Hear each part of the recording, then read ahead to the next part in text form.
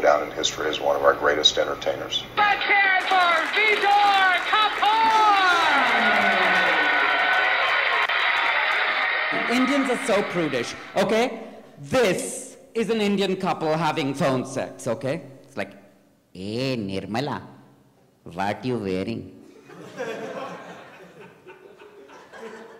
Oh, I'm wearing 12 yards of silk organza.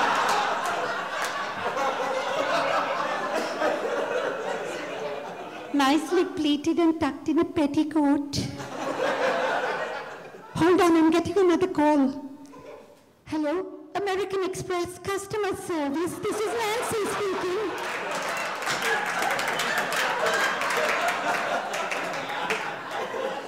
Indian media kind, kind of hounds me, and they're really homophobic. I don't know why they like me.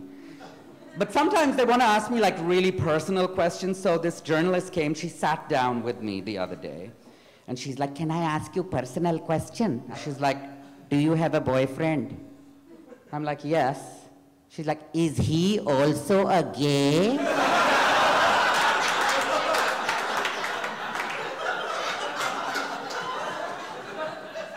I'm like, no. He's your husband.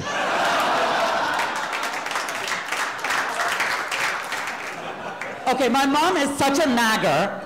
You should watch her with my dad. She's on his case like 24 7. She's like sitting next to him while he's eating, right? She won't even let him have dinner. She, Have you had your medicine? Have you had your medicine? Have you had your medicine? What's the medicine for? Her. And he's turning 75, okay? I asked him, what do you want for your birthday? He's like, I want to go deaf. She nagged so much if Gandhi was married to her, he would slap her and just go, shut up, bitch, shut up, shut up. He'd just lose it. I'm sure Mother Teresa had days like that. She'd be walking down the streets of Calcutta and she, you know, washes the feet of the poor. Get out of my way, you stinky bastard! I am tired of dealing with these Indian hunchbacks! Get me out of here! Get a fucking pedicure!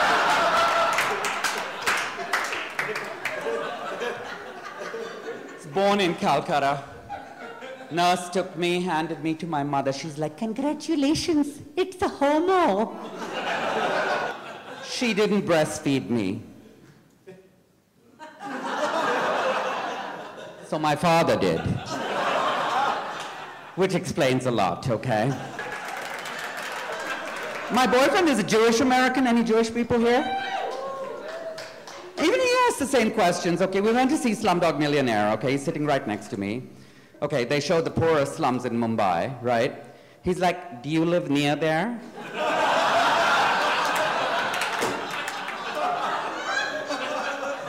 I looked at him, I'm like, No, I live right there.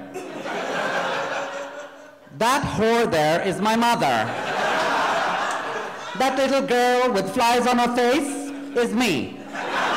Happy?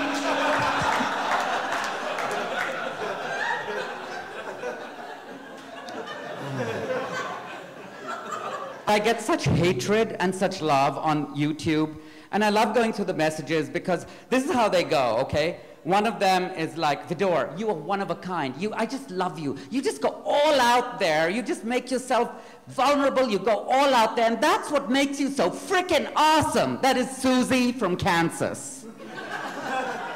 The other one, the other message was faggot. That was my grandmother. Thank you. You've been awesome. Enjoy the show. Thank you very much.